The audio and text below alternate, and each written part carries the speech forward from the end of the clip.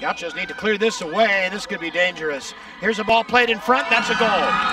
UCSB's inability to clear it away results.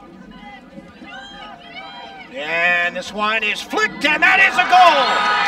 Riverside has scored to retake the lead, and the goal scored by Jane Jordan.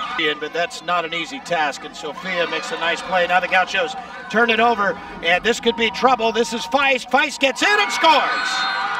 And the Gauchos are officially in trouble, trailing 3 to 1 here in the 83rd minute. Is maybe not content with just one. Here's the through ball. There's a Gaucho down.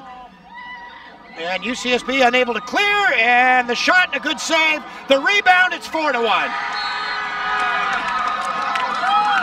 And the Gauchos have fallen apart here in the late stages of this match.